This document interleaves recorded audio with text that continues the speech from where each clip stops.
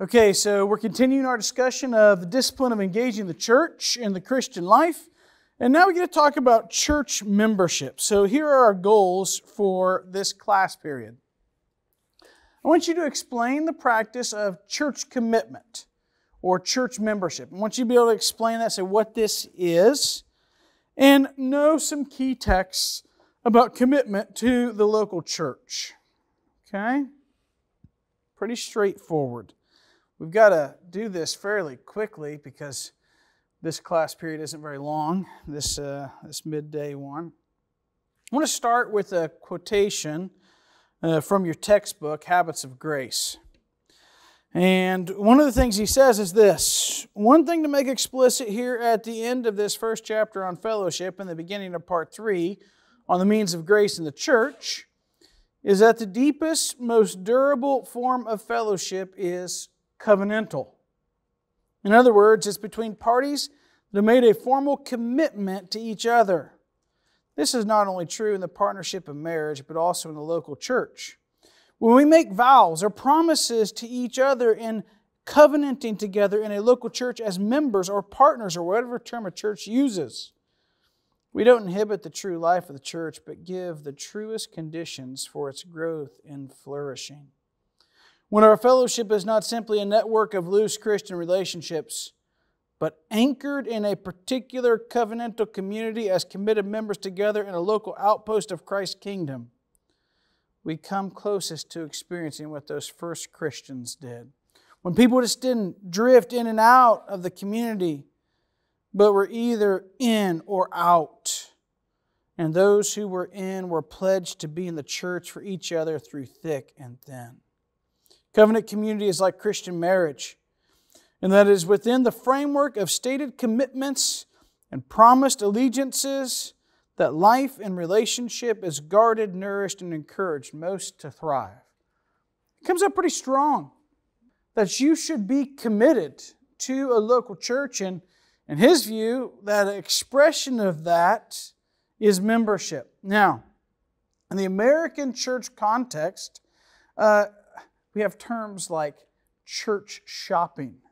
What does church shopping mean? It means like, oh, I'm gonna I'm going to shop around for the one that I like the most. Now, there's a sense in which church shopping might not be the most egregious of terms. You move to a new place. When you move to Cedarville, for example, as a freshman, you might have what you call church shopping. Is where you're trying to find a church um, where you can commit and you can thrive that's a biblical church and there's areas for you to minister. If you mean by that church shopping, well, I don't want to criticize that. But some people church shop like window shopping, and they float around to various churches, never settling down and taking roots and making a commitment to a particular congregation. One of the things that Mathis does here is he compares this uh, idea of church covenant to some ways like the covenant of marriage. Now, it's not a perfect comparison, but there's some, some help here. So, I've mentioned that most of your churches have a church covenant. Does anybody like, does anybody know, like, oh, my church does have a church covenant? Okay, some of you are like, it may or may not. Uh, but I bet if you uh, you went on the website or you asked one of your pastoral team members, they would probably say, yes, it does have a church covenant. It has a a stated uh, group of commitments that we have made. So I have a question for you, and I want to uh, interact with you. I'm not going to have the, you break up in your groups, but I want you to entertain this. What would you say to a young man who's dated a girl for years but refuses to commit to marriage because I don't need to sign on a dotted line for my love and commitment to be real?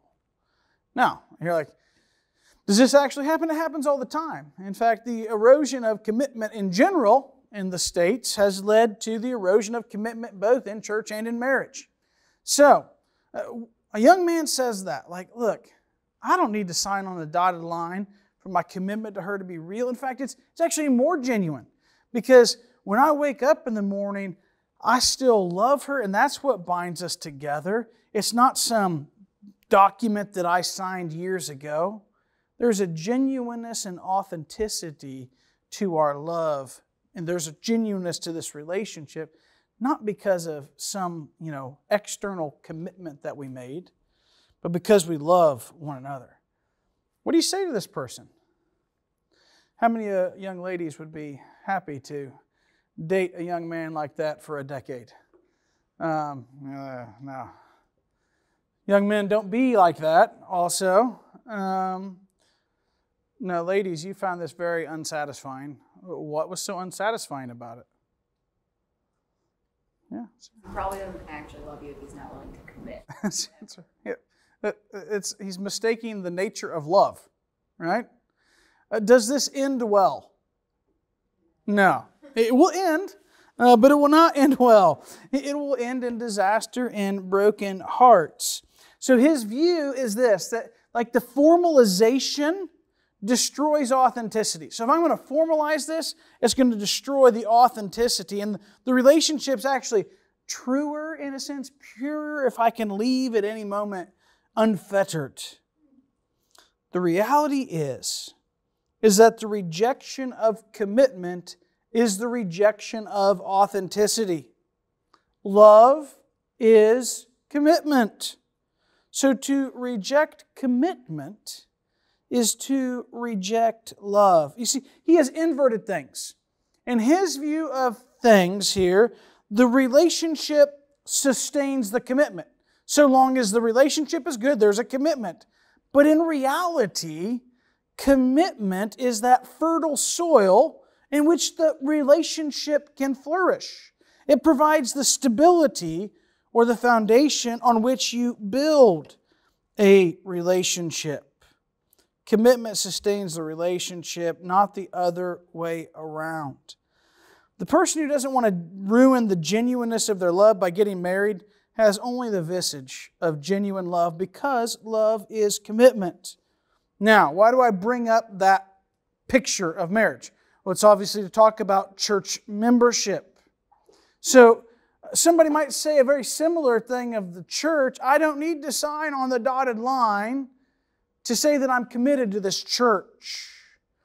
Many people reject church membership because signing on the dotted line doesn't make me any more or less committed to this church.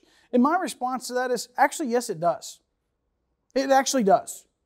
Your willingness to say, I am committed, and sign your name is a statement of commitment that makes you more committed. And as a side note, if you're at a church where your leaders are telling you that they want you to formally commit and you say, No, I will not commit, are you in submission to your leaders? Now, that's an, another question. Are, are you willing to make that sort of a commitment? Similarly, like the work of marriage begins with a commitment and a wedding, so the work of church membership begins with the formalization of that relationship as well. Okay, so what does it look like to commit to a local church? Now, just to put my cards on the table, I'm going to argue uh, the expression of commitment to local church in the American context should be formal church membership. That might take a little different form if uh, you have an underground church in some persecuted area. You know that you have your, your commitments are understood and they're stated maybe in different ways. I think this is the way that we can live this out in our current context. I want to engage you in discussion. I realize that some of you might, this might be a foreign concept for you. Some of you might be like, yeah, I'm at churches that we practice church membership. This is what the expectation is, is what I want to do. Some of you are like, I've never heard that term before. I want to engage you in this conversation to help you think about what it might look like to commit to a local church. Okay, I've got a, I don't have many funny memes, but I love this one. Now, what, what would happen here? Like, I mean, like, I'm part of the Universal Gym. but you have to work out in a local gym, right? It takes a local gym for you to actualize your workout goals. It's, he's uh, hinting at the idea here of the universal versus the local church because some people will tell me, well, I'm part of the universal church. I don't need to be a part of a local church. No. Uh, being a part of the universal church, that next movement then is to commit to a local church. I have a book that I found helpful by Jonathan Leeman. He says this A person is included in the universal church through salvation.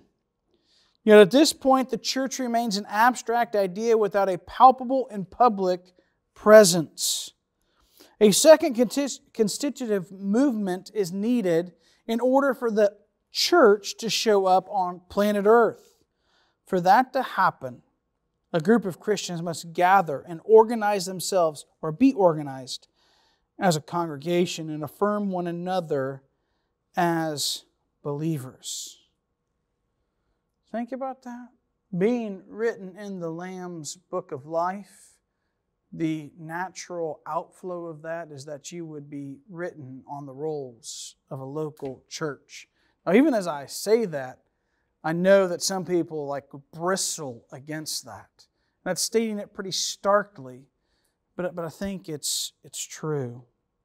So, here's a question that I ask would it be an appropriate or inappropriate assignment for this class to make you join a local church? So imagine you come in as a freshman, it's fall semester, I'm teaching you Bible and the gospel, and you know 10% of your grade is at the end, which church did you join? Is that legitimate? I got a yes. Anybody think it's why is it not legitimate? Yeah. Because like you're it's being forced. It's not your student's choice. Yeah, I force you to memorize scripture. Is that is that not legitimate? Maybe maybe that's illegitimate too. Yeah. Um, because if it's in this area, you're pretty much saying, "Oh yeah, I'm just committing for the four years while I'm at college." Yeah, and I want you to commit for the four years while you're at college. I want you, I mean, I don't know where I'm going to be in four years. Um, so I want you to settle roots quickly. Yeah. Um, anybody else think it's legitimate, illegitimate? Yeah? I think that it is legitimate because even though it's enforced, I don't think it's forced because it should be natural. Should be natural. Like, it should be what you're going to do. Yeah. So, um, this gets to the heart of is this a uh, is this an exercise in spiritual formation? I want to say yes, it is, and I think it would be um, I think it would be valuable for students. Like I can imagine, it, like if I could have a wish for every incoming freshman, it's that they would join a local church their first semester. Think about that. Can you make that your goal? Like you come here, you don't have a church home. I realize you're gonna you're gonna look on the internet, you see what local churches are there. It might take you a few weeks to visit a few targeted ones, but stop looking for the perfect one. That, that you're not gonna find that one, right? You're not gonna find the perfect church. And I'm gonna tell you, I love my church. My church is messed up. We got a lot of problems, right? Every church is like that. Find a good church, a faithful church, where you can be fed and you can feed others, where you can serve and settle down there. Um, here's what church commitment is it's a formal commitment to live the Christian life with a particular group of believers. It's a commitment to be overseen by godly leaders and a commitment to pursue discipleship and mission together. Okay, it's a formal commitment to live the Christian life with a particular group of believers or, or covenanting together. It's commitment to be overseen by leaders and to pursue discipleship and mission together. Now, what are some things that make this idea hard? Well, the first thing is we just have an impulse to deny interdependence. We want to say, I am sufficient on my own. We want to deny that we need one another. Now, just think real quickly about 1 Corinthians 12. The eye cannot say to the hand, I have no need of you. But that's kind of what we want to do, right? We don't want to say, I need you. There's a desire towards autonomy, self governance, and self direction. I want to be overseen by leaders. Uh, does that mean I have to submit to leader? Well, the Bible says yes, submit to your leaders. And if there's a rejection of the idea of formal commitment, I want to say, well, what leaders are you submitting to? So, this is what church membership is. We're going to look at some biblical texts to help you understand this. I'm going to give you a couple quotes. Here are three books that I found pretty helpful. Um, there's a short one by Leeman, Church Membership. Christians don't join churches, they submit to them. I thought that was a, a helpful idea. Uh, I can't say Thabiti Anyabwiles's name very well, but the second book's by him. To fail to associate ourselves in a lasting, committed way with the head of the church by joining his body is surely a sign of ingratitude. Is that right?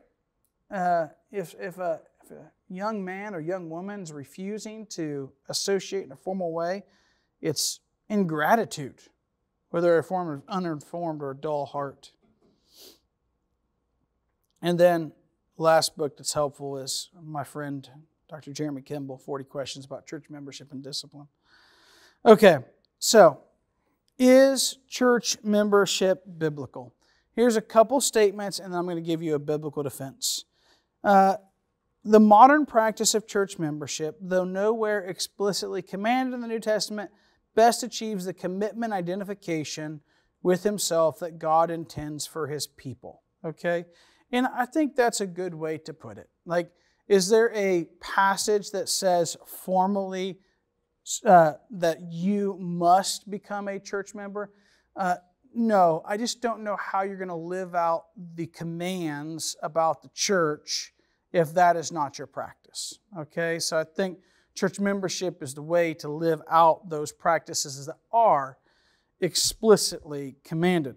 Okay, let me give you four categories. So I'm going to talk about four things here. Uh, when we think about church membership, the question we get asked is Is church membership biblical? And here's going to be my four categories. I'm going to talk about images for the church, the structure of the church, practices of the church, and the care of the church. Okay? So if like you're thinking about your notes, here are the four main points. We're going to have some texts and explanation for each of those main points images, structure, practices, care. Images for the church. I'm going to show you some images. And I want you to think about this question What do these images have in common? So, you know, we don't have a text that says this is the church, the church is these, these, these things. But we have a number of images or pictures of the church. I'm going to give any, any ideas. So, one of the pictures is body, I mentioned. What's another picture of the church? Another one? Yeah. Bride, good. Other ones? Vine and branches, uh, yeah, uh, they're, that's an image, good, yep. So here are some that Paul mentions body, household, field, building, temple, flock. What do these particular images have in common? Yeah. They can, they can grow. Yeah, that's true. They can grow. Uh, they, they can grow. Other things. Yeah. They're physical. Yep. Yeah. They're, they're pictures of things. Good. Yeah. They do need to be maintained. That is true. They take care. There's another thing that's true about them. What is a flock comprised of? Sheep, yeah, sheep, right? Multiple sheep. What's a temple comprised of? Multiple blocks or bricks. You think of a field has multiple uh, plants as a part of it or a household has multiple members, or you are one body with many parts, right? So each of them are collective wholes. the emphasis is on the whole, not the individual part. Notice also that there are implicit boundaries. So it's very clear where my body ends, right?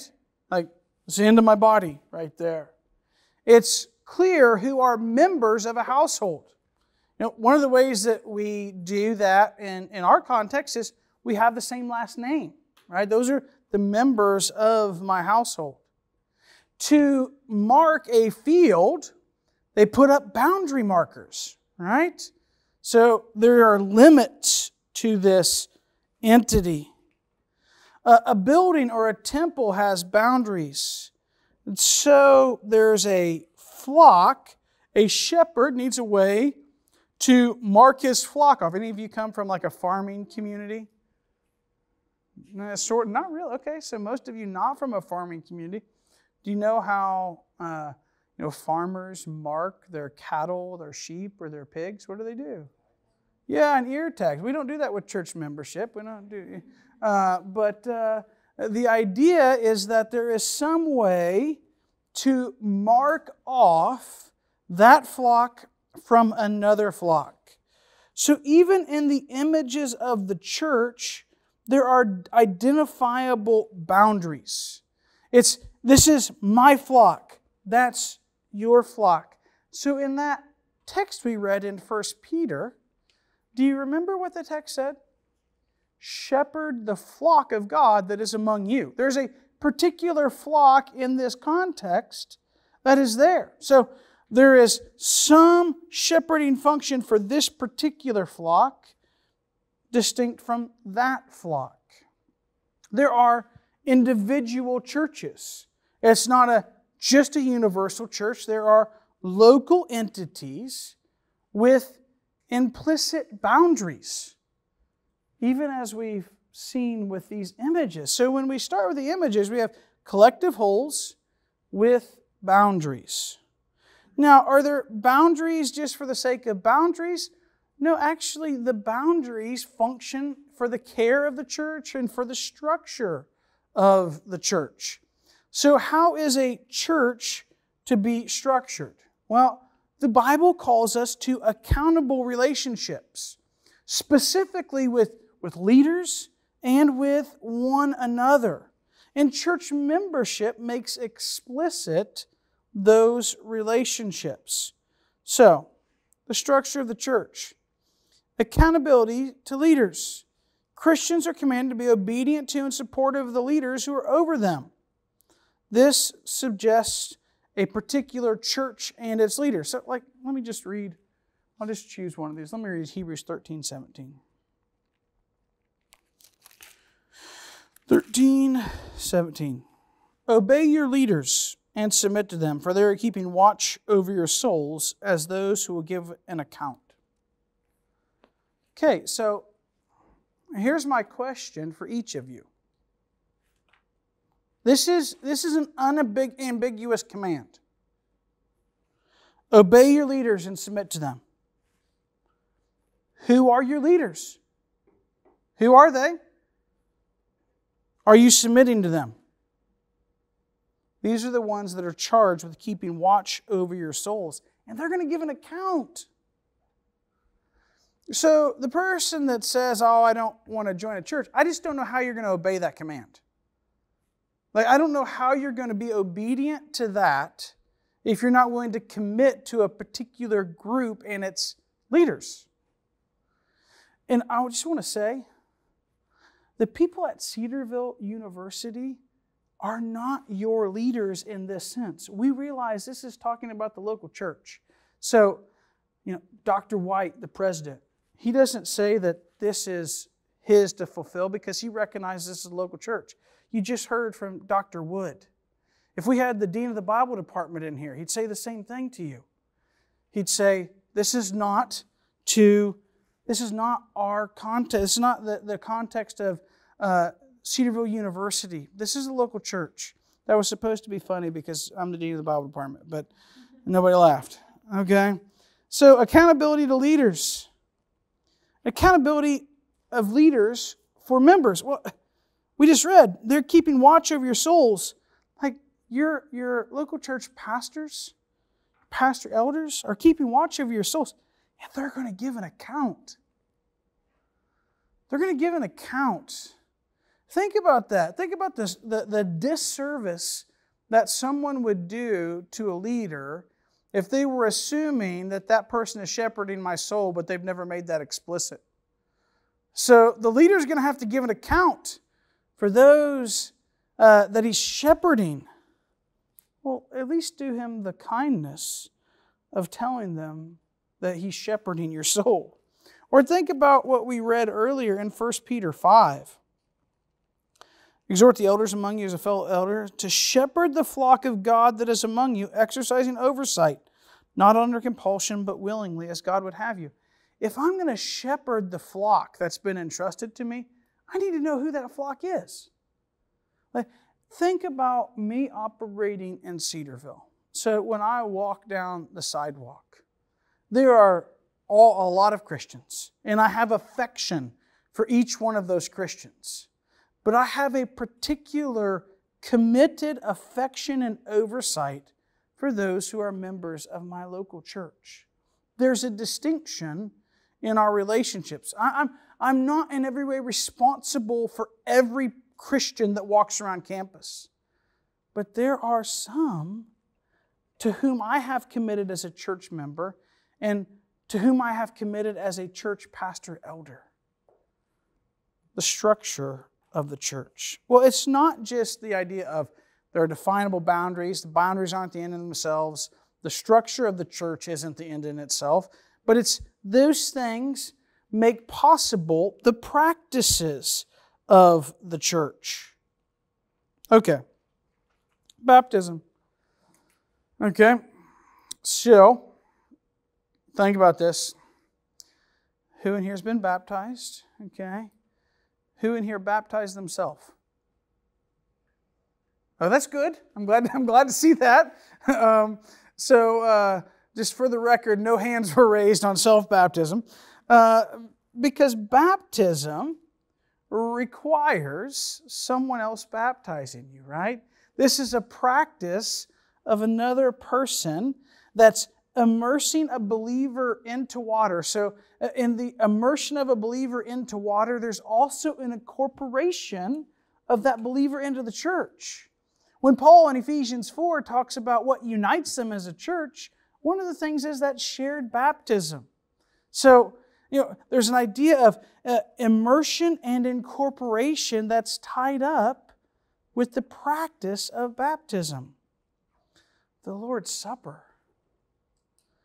What do we do around the Lord's table? Well, think about Paul in 1 Corinthians uh, uh, 10, where he describes when we gather to take the Lord's Supper, we have fellowship with Christ Himself and fellowship with one another. There's something beautiful and powerful about that meal. What other term do we sometimes use for the Lord's Supper? Communion. Communion. Eucharist is a, is a term that, that, that speaks to the gift or the blessing that it is, but communion. It's a community. Church discipline. Now, we don't have time to go into this at length, but part of what this idea of membership does is it enables you to live out a practice of church discipline. How are you going to live out church discipline if you don't have a definable unit?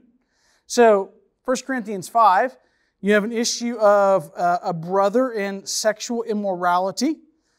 And Paul is pretty angry that the church tolerates it, and he says, Cast out the immoral person from among you.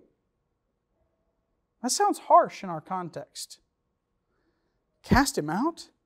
Well, why? Well, for the good of his own soul, so that he would be led to repentance, for the purity of the church, for the warning of other believers, for the testimony of the church, so that we might publicly say that this is not how Christians live. There's a lot of reasons for discipline, but let's just say that practice is made possible by def- having a definable whole. If you just have an amorphous group of people who gather How can you cast that person out? But if you said, we are committing together, we're going to make the gospel visible in this particular place. We're going to commit to one another, to disciple one another, to walk alongside one another, to oversee and be overseen together. Then it makes sense when someone breaks from that commitment to say that you're not a part of this anymore. And we plead with them to repent and return. That's what's happening in, in 1 Corinthians 5. How are you going to do that if you don't have membership? Don't neglect meeting together. With whom do you meet? Do you just float around to a different meeting of Christians every Sunday morning? I just want to exhort you for the good of your soul, for the good of the testimony of the church. Uh, don't go to a bunch of different churches. Settle on one. I realize when you come here as freshmen, you're going to take some time to find a church. Don't let that practice extend. Uh, don't say, you know, I'm going to go with my friend to this church and then next week I'm going to go. No, you need to be settled. You need to be planted for the good of your soul. The practices of the church. Well, another thing we want to talk about is the care of the church. Okay, let me pause. I've said a lot so far. Uh, what que- is there a question here, or should we wait for questions at the end when I get to the fourth point? You got a question? Yeah. How would you go about um, um, like kicking someone out of the church? Okay. Um, so the question is, how would you go about kicking someone out of the church? I would use different terminology. Uh, we might say disfellowship someone uh, for the sake of their soul. Uh, so uh, there's a process. Matthew 18 lines, outlines this, right? So it talks about if there's a, a brother sins against you, what do you do? So there's, there's, there are steps. You don't just go like, you sinned against me, you're out. Um, so uh, the whole goal is restoration and repentance. So you're, you're seeking a brother or sister that they would repent for the good of the soul and be restored to fellowship. That's, that's the goal from the, from the very beginning. So, first you go to that person personally. Person, let's say that person re- repents and the fellowship is restored. They reject that. Let's say they reject it. Well, you go with it two or three and you say, This is the issue, brother. Let's repent. And if that still isn't effective, you bring the church. And that might be the representatives of the church first, like the elders and the pastor elders. And if that's not effective, you tell it to the church. And you have the church plead with this person. This is not in keeping with your profession of faith in Christ. You're not evidencing new life. And you plead with that person. And if they persist in their hardness of heart and rebellion, an, a grace from God to help wake them up to the folly of their sin is to say, formally, we can't affirm your profession of faith anymore. Because the way you're living is not in step with the confession that you're making. So, for the good of your soul, we're going to remove you from the membership or the fellowship of the church seeking your repentance and longing for your restoration. For the good of the purity of the church, we're doing this. Paul says uh, that you're a new, you're supposed to be a new lump. You're not supposed to have the old leaven in your church, so that other believers are warned, so that our hearts are chastened to forsake sin. For the good of our testimony as well, so that when non believers look on, they're not scandalized by immorality in the church. Paul talks about this in 1 Corinthians 5. He says, And such a thing is not even named among the Gentiles. Like, even non believers know that that's terrible behavior. And here it's tolerated and even celebrated in your church. Does that make sense? Good questions. Other questions? Yeah. How do you think it would be um, um, a good idea to leave your church membership? Like you said before, how you're not church, not, not no church is going to be perfect. There's going to be problems you're going to have to go through, but what do you think it would be uh, necessary or a good idea for somebody to break fellowship? Yeah, so when should you break fellowship with a church? Um, so I'll be a little brief because we're trying to get you in fellowship with a church right now. That's what I'm trying to make. Um, your questions are when to, when to, how to get someone out and when to leave yourself, which are good questions. Um, uh, but uh, so I think uh, I am not hasty in making a church transition. I'm going to labor for a group, of, for a church to which I've committed. Um, I'm, I'm not going to leave over personal preferences. I'm not going to leave over personal disagreements. I'm not going to leave over inconveniences. Um, but there are natural times to transition. If, if your job, let's, you want to be in the military, uh, if you get transferred uh, posts, you have no choice. You have to go. Um, and let's say you're a, a member of a church at Cedarville and you get stationed in Okinawa, Japan you should join a church over there, right? Um, so if you have to move for some reason, I think there's a legitimacy. That's a positive thing. There's another positive thing. Let's say the church sends you out. Say the church sends you out to start another church or revitalize a church. Well, that's when you transition your membership. Let's say the church commissions you to be a missionary. There's another time to transfer membership. Those are some positive things. I think your question was probably like, when do I regrettably have to leave a church. Um, I think when a church um, has an incompatibility of doctrine and practice with what you hold convictionally. So, a brief side note sometimes we talk about this concept of what we call theological triage. So, there are first order issues, let's say like essentials of the faith. These are things that if you don't believe, you're not a Christian. So, like the deity of Christ, the substitutionary atonement of Christ, you don't believe those, you're not a Christian. Then there are secondary things. And some, sometimes people call those convictions. Sometimes, uh, you know, they have different terms for them. But let's just use the term secondary theological beliefs. Uh, those are reasons that I might have different fellowship with, with people. So, like, um, I have Presbyterian friends, very dear Presbyterian friends, um, who are certainly Christians. They believe essentials of the faith. But we have differences in practice and ecclesiology that are significant that we're not going to operate in the same church as well. And he's going to joke with me, and I'm going to joke with him, and um, he's going to go his way, and I'm going to go God's way. Um, so um, uh, but then there are then there are level. If we're going to have a third level, there are areas of preference, right?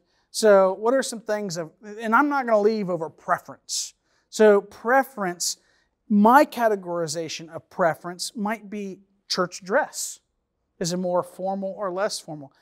Bible translation, so long as it's legitimate. Like if it's if it's a bad translation, I, I can't sit under that preached so-called word.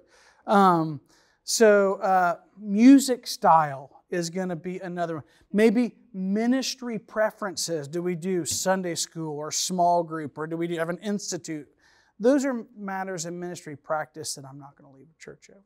But if it's a you know second or first order doctrinal issue that changes, I'm probably going to leave. Oh, I, I could leave over that. I think if there is there is fundamental uh, unhealth in a church in which they are not willing to fulfill the Great Commission, I think that could be an issue as well. So if there's no vision for ministry. Okay, care of the church. I want to make sure I, I get to this. One another commands. Love one another, be devoted to one another, support one another, care for one another. With whom will you live out the one another commands? With whom are you obligating yourself to do these things? When it says encourage one another, you realize that's not a suggestion. With whom have you obligated yourself to encourage them? Care for the poor. Christians generally care for the poor, but it's also to be concentrated upon caring for those in the church. We see this in Acts 6, where they're caring for the widows. We see this in 1 Timothy 5 let a widow be enrolled, and then there's uh, a description of who meets the qualification for being on the church widow roll. Oh, wait, wait a second there.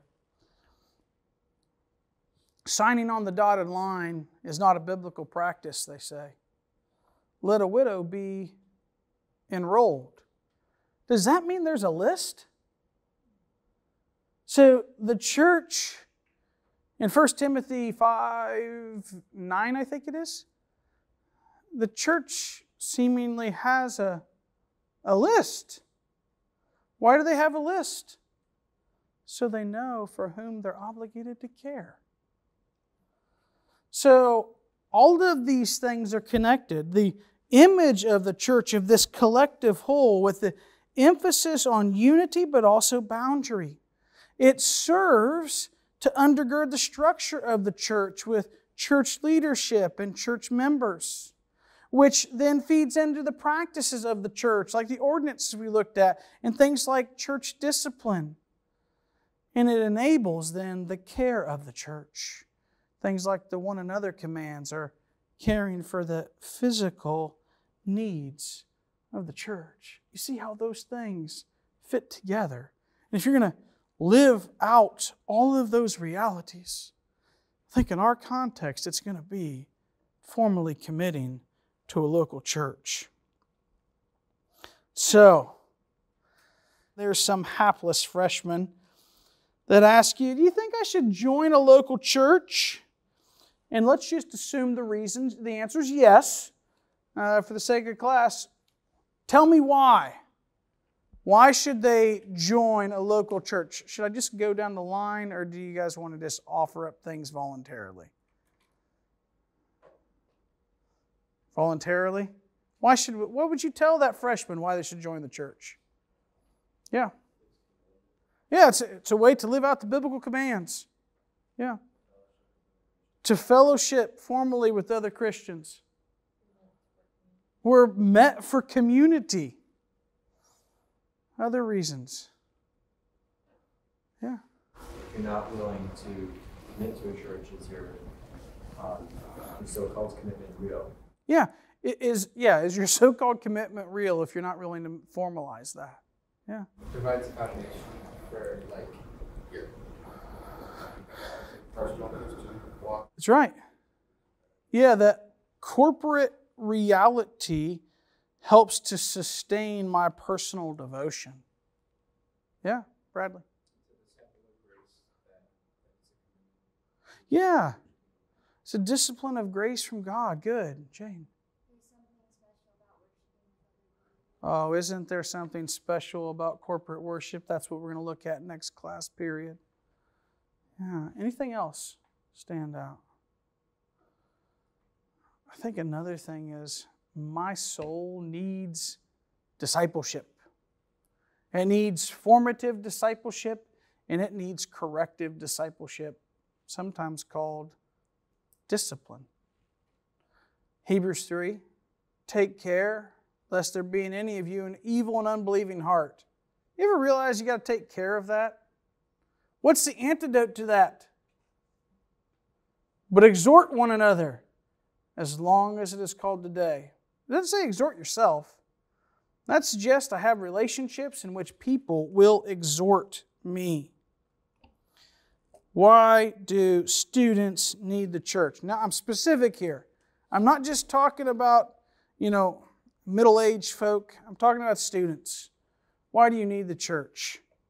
For the good of your souls today. I want you to be obedient to the commands Jesus has given you.